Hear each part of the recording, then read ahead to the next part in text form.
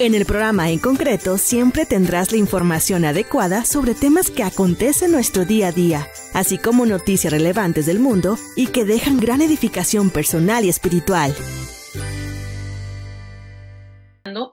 Bueno, yo me encontré un libro muy básico, que es, digo, básico para el católico de hoy y de siempre, que aparte de la Biblia, pues es por supuesto, el Catecismo de la Iglesia Católica. Y de ahí surgen estas preguntas, que este libro, como se los he recomendado muchas veces a ustedes, es básico y muy importante que lo tengan.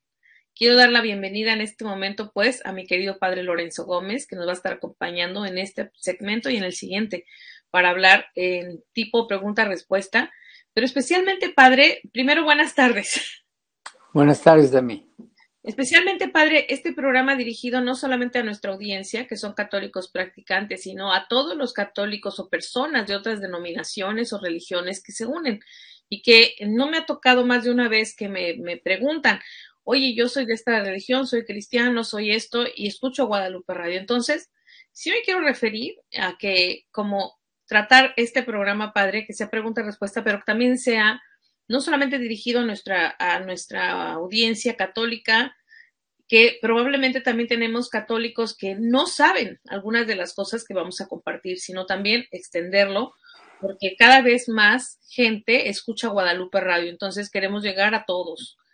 Y este tema de en qué queremos los católicos, padre, pues viene sacado del catecismo de la Iglesia Católica y que también hay compendios, hay también folletos, está todo más más, eh, eh, todo lo más importante, los temas de fe, todo está recopilado en el Catecismo de la Iglesia Católica. Ahora, por ahí quiero, quiero empezar, Padre, por las creencias. ¿Qué hay en ese libro que aparte de la Biblia es otro libro básico para todos nosotros que profesamos la fe católica? ¿Qué hay en ese catecismo que le llamamos nosotros Catecismo de la Iglesia Católica? Pues a mí yo creo que los católicos a veces tenemos un complejo ante los protestantes porque ellos dominan mucho la Biblia y te hacen referencias a la Biblia y te dan el capítulo y te dan el versículo y te citan de memoria el verso. Y nosotros, yo he oído ese, pues, esta, esta, esa queja de decir, nosotros no conocemos la Biblia y hay mucho interés en ir a cursos de Biblia, que es, es interesante y hay que hacerlo, pero tenemos también que entender que los católicos conocemos la Biblia mejor que los protestantes y los otros cristianos. ¿Por qué? Porque la, la, Biblia a nosotros se nos da digerida, explicada, ordenada en el catecismo.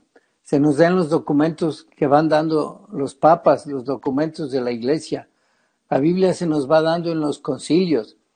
Y tenemos nosotros la, la Biblia, no solamente este libro, como tenemos el libro del catecismo, sino también tenemos nosotros la tradición, que es lo que nos están dando. El catecismo es qué dice la iglesia hoy, para hoy, las normas, los mandamientos de Dios, pero los mandamientos de la iglesia también. Entonces estamos nosotros viendo que nuestro catecismo está vivo, nuestro catecismo es la tradición y nuestro catecismo es el magisterio.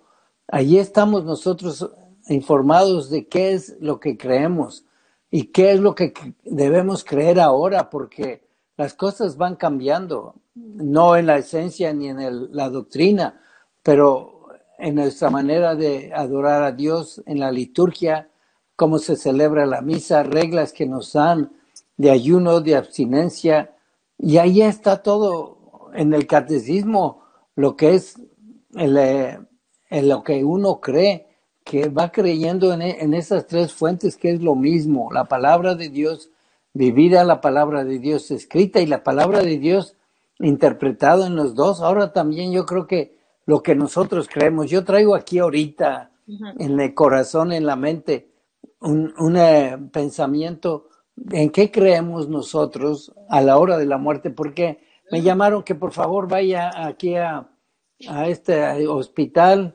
y a las, ver a la señora María, como se llama María eh, Casas, y fui a, y entré y me llevaron.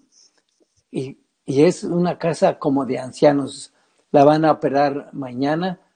Y, y en la habitación había otra persona. Y en la habitación de al lado la enfermera me dijo, quiere atender a esta otra. Y fui, no te miento, de mí, como a 200 cuartos. Y era una, una revelación, una tristeza, una alegría, una decepción. Estar viendo que a la hora de la muerte, ¿en qué crees?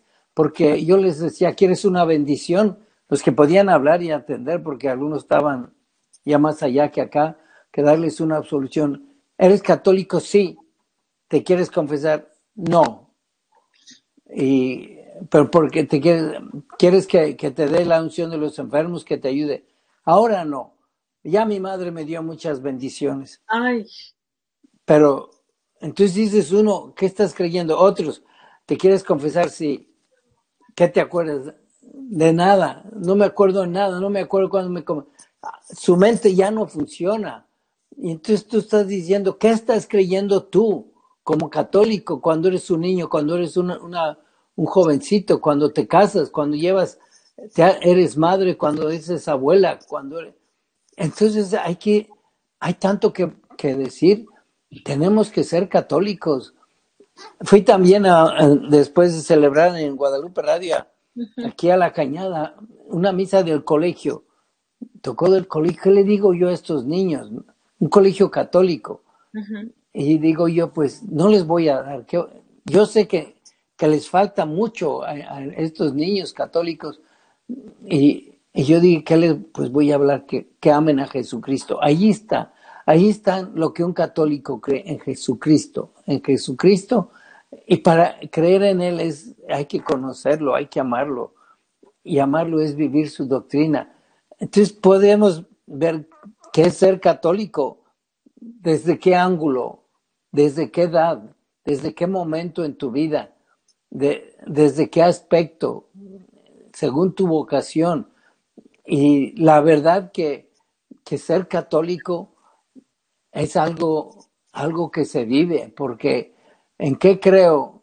Pues puedes creer, pero ¿en qué vives? Porque estaba también viendo a una señora con su esposo con cáncer, un tumor cerebral.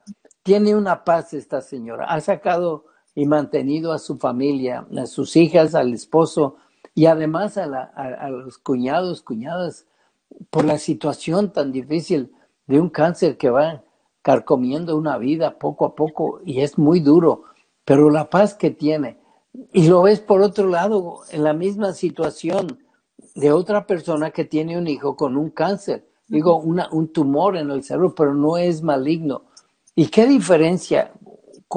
El esposo sí tiene el, tumor maligno que, lo está matando, el, el otro joven, hijo de esta señora, no. Y la desesperación que tiene la segunda, ¿dónde está la fe? Cómo vivimos nuestro catolicismo, en qué creemos. Y, y está, pues, es, es triste y es, es muy bonito también ver cómo mueren los católicos verdaderos, cómo mue- mueren los que han renegado, cómo están viviendo, cómo se afligen, cómo protestan contra Dios. Y entonces yo creo que el católico an- ante la enfermedad, ante los problemas, ante la vocación, ante el trabajo, ante las relaciones, ante la situación de la sociedad, y, es, es, una vida y que tú tienes que decir, ¿cómo la vamos a concentrar nosotros para responder? Si vamos a volver al catecismo, pero está en Jesucristo, en conocer a Jesucristo, en amarlo. El que cree en mí tiene vida eterna. Y el que me dio el Padre, Sí, ahí me quiero quedar, padre, perdón. Se nos acabó el tiempo para este segmento, pero me gustaría regresar al segundo, por favor. Y con esto que nos ha, ha mencionado, que digo, nos ha dado pues una panorámica de todos los católicos, en qué creen y también, por supuesto, en cada momento de etapa de nuestra vida. Al regreso me gustaría preguntarle si hay algunas eh, también prácticas que nosotros podemos hacer y alguna oración donde está todo este compendio de lo que creemos los católicos. Vamos a una pausa y regresamos con más en concreto. No te pierdas ningún programa de En Concreto, bajo la conducción de Demi Orozco. Solo descarga la aplicación, regístrate y ya estarás disfrutando de este y más contenidos de la programación de Guadalupe Radio.